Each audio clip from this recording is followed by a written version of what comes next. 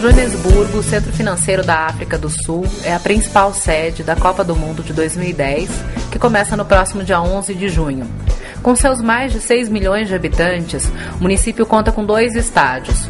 Um deles é o Alice Park, que a gente está vendo imagens agora. Esse estádio ele foi todo reformado, ganhou novas áreas de arquibancada e camarotes e teve a sua capacidade ampliada para cerca de 70 mil torcedores.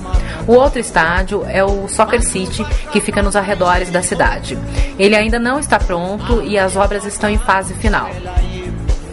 A gente está chegando aqui agora a uma das portarias de entrada do Soccer City, o principal estádio da Copa. São mais de 20 entradas para facilitar o acesso do turista, dos torcedores, das equipes, de todas as seleções, enfim, etc. O estádio ele é muito bonito, gente. Ele foi construído, ele foi todo arquitetado como se fosse um grande mosaico, uma bola toda em mosaico, em tons de vermelho, amarelo, preto. Ele tem algumas janelas, é, partes de vidro que eu acredito que seja para as pessoas poderem de lá de dentro avistar aqui Joanesburgo, a parte da cidade.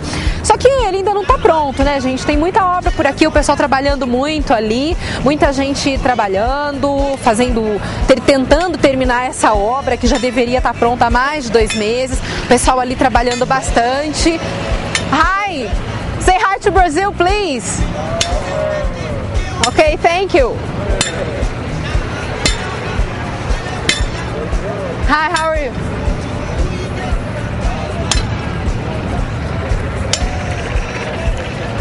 Are you working a lot to finish the construction? Yeah, day and night.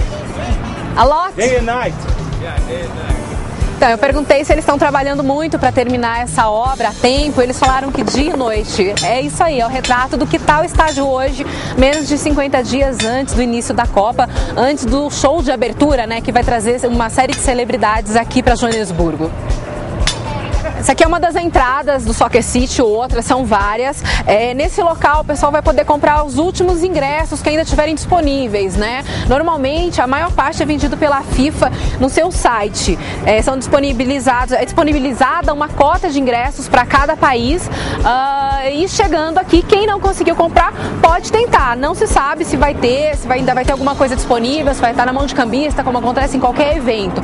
No entanto, vai ser aqui que vai ser vendido. Tem outra lá para frente frente, do outro lado do estádio, são pelo menos quatro ou cinco é, postos de venda de ingressos. Só que como vocês viram aqui também ainda não está pronto, eu estou aqui no meio da terra, muita gente trabalhando, tem alguns trabalhadores uh, esperando o seu veículo para ir embora.